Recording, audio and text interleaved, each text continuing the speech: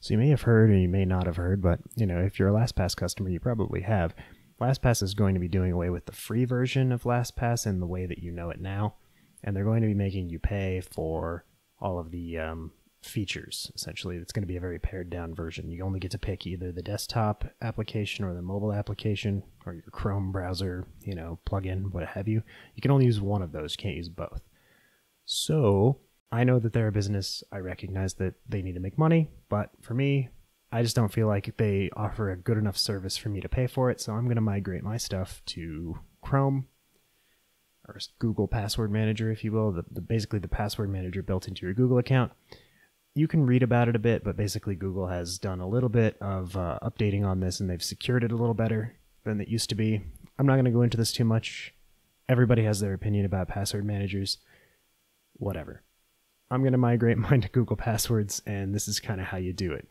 So obviously you need a Chrome browser for this, and then you're also going to need to log into your LastPass account.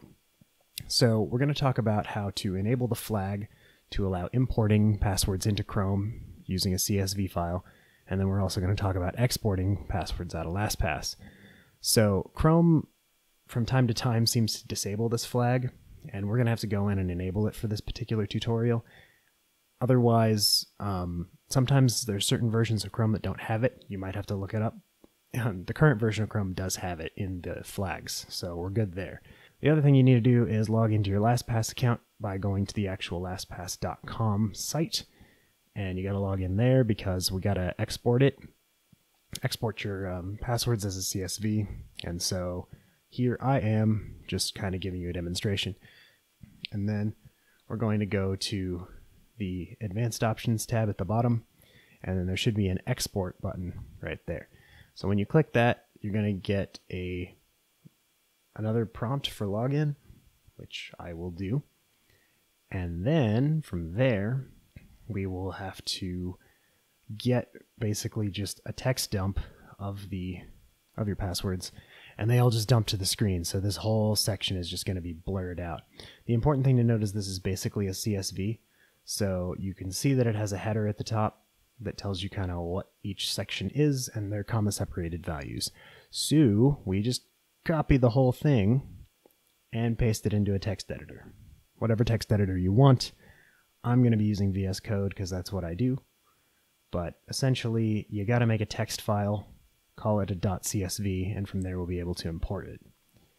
So what we need to do here is we need to set the flag for importing first. So go to chrome.com slash slash flags. And then in the top, you can search for import. And there's a password import. So then you can say enabled like that and say relaunch. And that will relaunch your Chrome browser. Hooray. Then once you've done that, we'll be able to go back to the password section in settings. And you should have a, me a, menu now with three dots. And if you click it, there's an import button and it asks for a CSV file. So you take those passwords that you copied out of LastPass, dump them in a text editor, um, save that file as something that you'll remember and leave the header so that, well, you don't have to leave the header, I don't think, but I'm sure it's looking for a header, so probably leave the header. So save that as a .csv somewhere.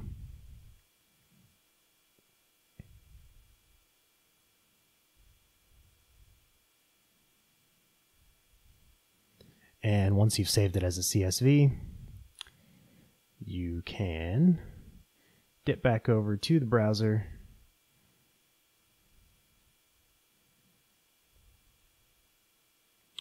and you can say import.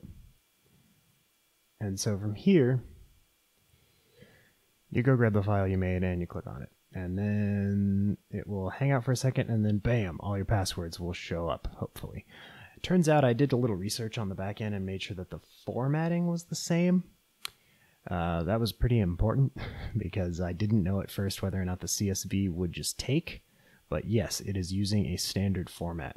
Now, I will say this what I have found in like messing with this a little bit is there are going to be some websites that don't quite line up with Google Password Manager versus the way they were in LastPass. but all your passwords are here. So, theoretically, what you should be able to do is you should be able to go back through and just check the password. So you can go into settings and passwords and view the password if you're run into a website that doesn't automatically autofill. And then you should be able to basically like reconfigure that particular one for the new web web URL or whatever. 90% of my passwords worked fine the first time. So hopefully they'll work for you. Maybe this is helpful. It's a pretty short video, but it, it, it was kind of tricky just to make sure that the flag is enabled and that it actually even works anymore. So thanks for watching, and uh, questions or comments, leave those below.